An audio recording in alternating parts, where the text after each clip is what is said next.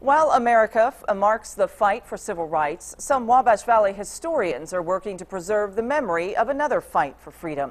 It's all part of a project to record old Civil War documents and photos online. News 10's Joe Ostrowski gives us firsthand look at that work. They're the faces that fought America's Civil War. Through the years, each young soldier was cut down by artillery or old age. But though they've left this life, these men have also left plenty behind. Just ask Jim Gilson.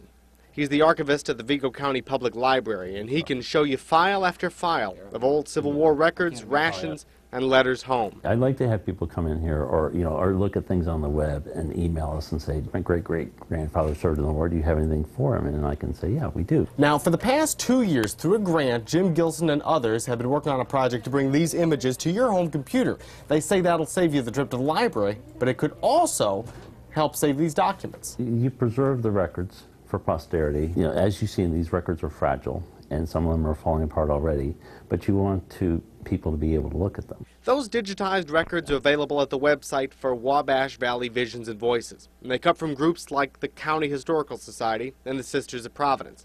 It takes work, but it's work Gilson says he's glad to do. It's nice to be able to, to connect somebody with their past. I mean, so they they can actually say, my ancestor served in the Civil War. And it's a way to ensure that the sacrifices of those ancestors are never forgotten.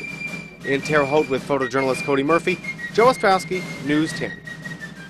Gilson says digitizing those documents takes money, and that money comes from a grant through the Institute for Museum and Library Services.